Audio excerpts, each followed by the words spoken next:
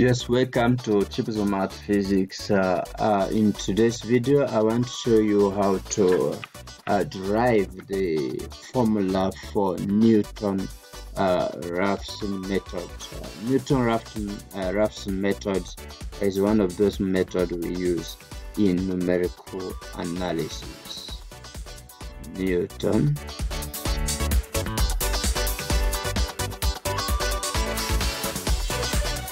Raphson method is very interesting yeah, and it's similar to uh, regular falsi method uh, but let's see the difference. Assuming that we have our sketch so let me see.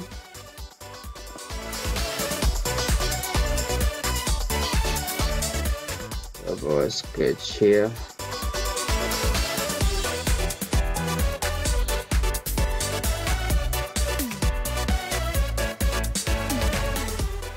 okay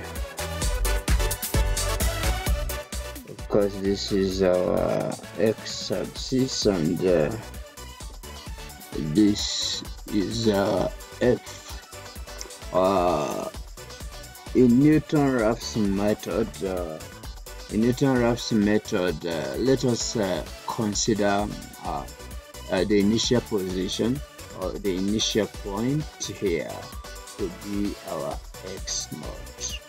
Uh, of course, uh, we have a general formula in uh, Newton-Raphson method, which we say xn uh, is equals to xn minus 1.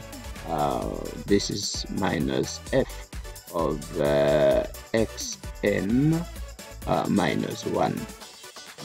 all this divided by f xn uh, minus 1 so this is the general formula that we want to derive so uh, let's consider uh, the initial point and the initial point here we're having x x naught.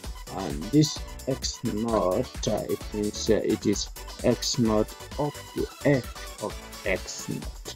So we cut the f axis so let us see. Let us see what we have up to here. Let's just draw. So this position is uh, f of x naught. f of x naught. Uh, to find the next uh, approximate uh, or approximate root value uh, simply draw a tangent uh, line that cut uh, the uh, x-axis so when you draw a tangent line uh, that cut the x-axis let's see. The tangent that cuts the x-axis from f of x naught.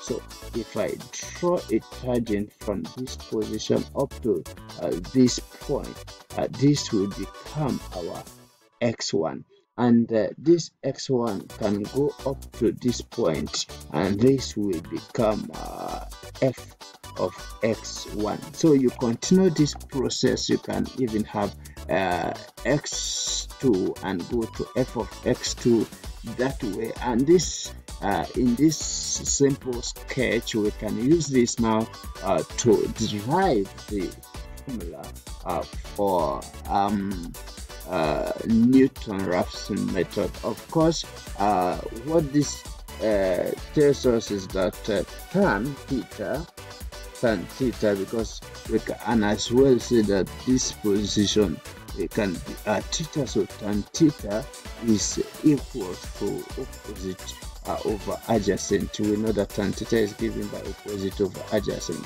Uh, that therefore means that uh, tan theta uh, tan theta is equals to uh, y2 uh, minus y1 equation of the straight line uh, divided by x naught uh, minus x1 if you do a simple simplification you will simply have the f uh, prime of x naught x naught and this will be equal to f of the x naught x naught uh, minus 0 uh, divided by uh, x uh, not minus x1 x1 so this will give us x not f of x uh, x. Of course this is f prime.